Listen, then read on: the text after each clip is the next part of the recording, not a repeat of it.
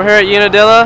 Uh, I started out my weekend with third on the whole shot of the first moto and uh, just ran third for the whole race pretty much. But I had some, I don't know, I think my steering dampener went out. But you know, I kept going and I got fourth in the first moto. I knew I could do better, it's just the, I mean, a little mechanical issue I had. I went out for the second moto, had third on the whole shot and just got pushed out really far. And uh, I just, I think I moved back to eighth or something and just, you know, I made pass as quick as I could. But, you know, it wasn't, it wasn't quick enough and I got up to fourth again and uh, they were they were battling too hard for me, and I just couldn't catch up to them. But uh, I'm gonna go to Redbud. Definitely try to get time qualifier and uh, win some motos.